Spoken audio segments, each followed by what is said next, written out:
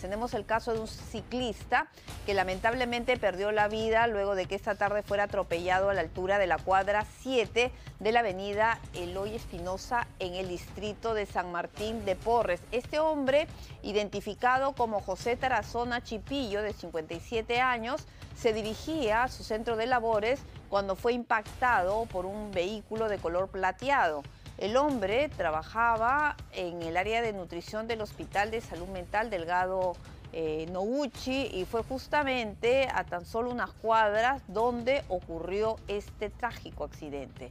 Compañeros de la víctima aseguran que vivía cerca del nosocomio, por lo que se transportaba en su bicicleta y han precisado también que el chofer que provocó el fatídico accidente iba a excesiva velocidad mientras que los familiares informaron que se trataría de un efectivo policial, por lo que hasta el momento no saben su identidad y que, bueno, este tema se está llevando con total hermetismo. El chofer del auto fue llevado hasta la comisaría para las investigaciones y, en la zona hay cámaras de seguridad que van a ser definitivamente claves, ¿no? Para saber exactamente lo que ocurrió.